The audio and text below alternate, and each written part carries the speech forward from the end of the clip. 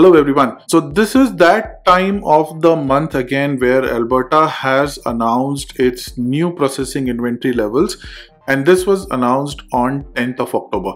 So in this particular video, we will go through the details of how the latest processing numbers look for different streams of the Alberta PNP.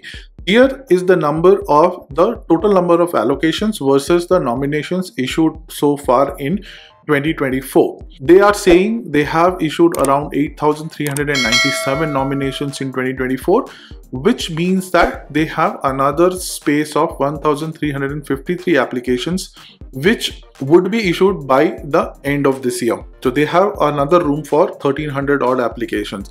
And comparing that to the number of applications in queue, they have close to 4000 applications or almost a little more than three times of the volume in their queue.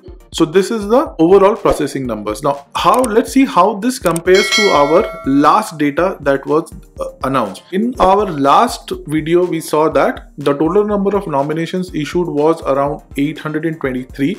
So they have kind of issued 300 odd nominations in the past few weeks and the number of applications have also dropped so from 4440 applications in queue the applications has dropped to 4025 and this could be partly because of the fact that they are not accepting new applications in the past few weeks so that is the reason we are seeing a fall in the number of applications at an overall level concerned. Let's look into the Alberta Opportunity Stream. They have issued close to 4,643 nominations for this year and they have additional slot of 621 nominations remaining for 2024. Comparing that to the last time, they had close to 898 open slots and now which is down by 621. So around 250 new nominations are issued in this particular time period. The number of applications for AOS is currently at 1823 which is down another like close to 250 300 applications from the last time where they had around 200 and uh, 2100 applications pending as far as the processing time is concerned we we uh, have seen only a slight improvement in the processing time where they are currently processing applications from january 23rd 2024 this has only slightly improved from the last processing time of january 11 2024 so as far as the applications for the aos is concerned they are kind of moving very slowly however if you see the, the uh, if you see the additional information that is provided here AO, uh, alberta Advant aip is also prioritizing people whose work permit expire in 2025 so depending on when you have applied for AOS, if your work permit is expiring in 2025, those applications would be given a priority. Obviously, it will not change the date but if you are somebody who whose work permit is expiring in 2025 you may expect a faster response than this. Now let's look at the rural renewal stream rural renewal stream they have issued 1586 nominations in 2024 which is a slight increase of around 70 to 72 new application uh, new nominations as compared to the last time. They have 244 remaining slots which is again a slight decrease from the last time. And the number of applications in queue also reflect the similar number. From 1667 it is down to 1589 here the processing time also has improved by couple of weeks from March 6, 2024 to March 22nd, 2024. But again, here also the temporary public policy of prioritizing the applications whose work permit are expiring in 2025 is applicable. So if you have somebody who has applied to RRS after March 20, uh, 22nd, you can also expect a response a bit earlier or on priority. Next comes the tourism and hospitality stream. As far as the tourism and hospitality stream are concerned, there has been no new application. So there was only particular like couple of ways in which tourism and hospitality applications were accepted. And what we have seen these numbers hasn't changed between the last update and this update.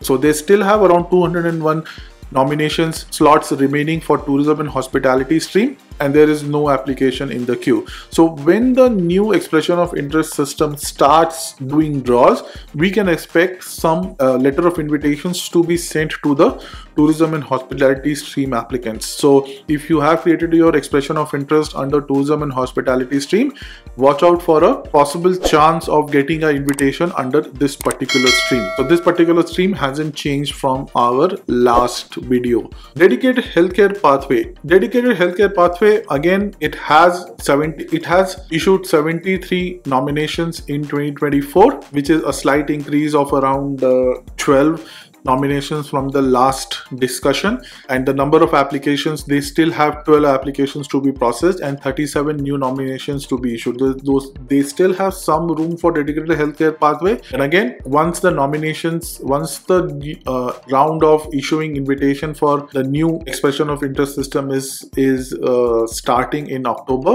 here also they are expressing they are currently processing applications from 27 september 2024 which is a slight improvement from the last uh, last update. So september 27 is almost current. They are almost up to date. They only have around 12 applications to be processed.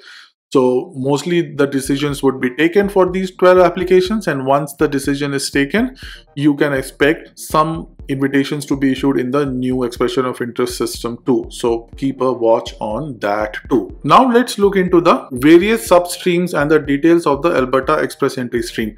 So here you would see accelerated tech pathway is currently processing applications from 18th of March 2024 which has not changed from the last declaration. They were still um, doing assessment of applications from 18th of March.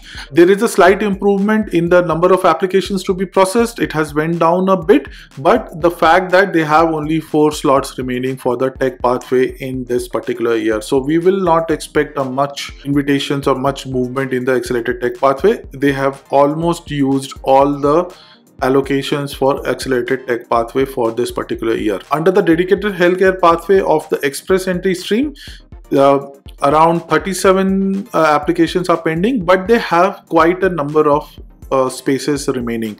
They still have 228 allocations remaining, which is also a slight uh, change from last time. Last time they had 242, so they have issued like around 13 or 14 new uh, nominations in this particular period, and they are currently processing from September 20 uh, September 27th, 2024. So this is again some a pathway which is very current, and as I was saying, once the new invitation starts rolling out in October, I am expecting some more invitations to be issued under the dedicated healthcare pathway. Law enforcement, they have around 11 spaces remaining and they are similar to the last time. So there is no change in the law enforcement pathway and that is mostly because there have been no new applications in the past few weeks. Uh, priority sector and draws, they have only one slot remaining which is again similar to uh, similar to the last update family connection and occupation in demand. This is something very interesting. So we see that there is no slot remaining for family connection and occupation in demand.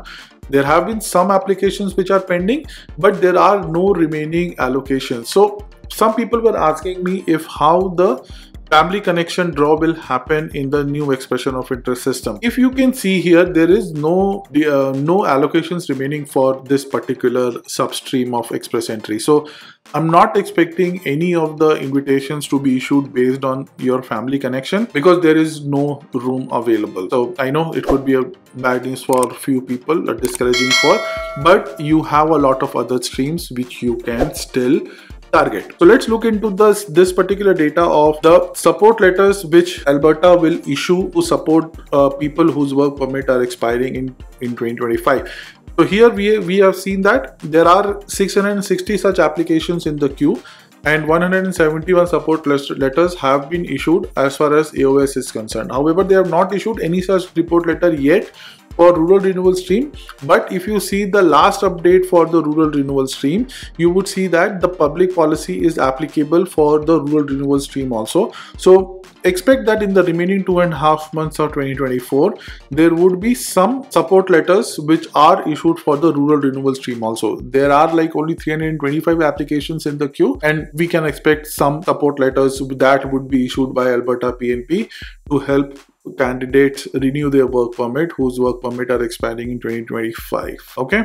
So that is the update that they have. Expression of interest draws have not yet started. Once they start they will update this particular table and we will keep analyzing the scores and the trends of that particular draw as and when it happens. This is what i wanted to cover in this particular video. I hope you guys get some value out of this and if you have any questions reach out to me and i will see you in the next one. Thank you so much